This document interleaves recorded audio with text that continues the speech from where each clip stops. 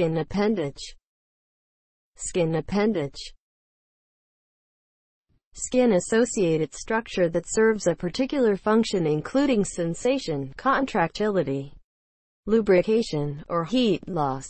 Nails for protection, hairs for sensation, heat loss, filter for breathing, protection, arrector pili, smooth muscles that pull hairs straight, sebaceous, glands secrete sebum at the hair follicle, which oils the hair, sweat glands secrete sweat with strong odor, apocrine, or with a faint odor, merocrine or eccrine.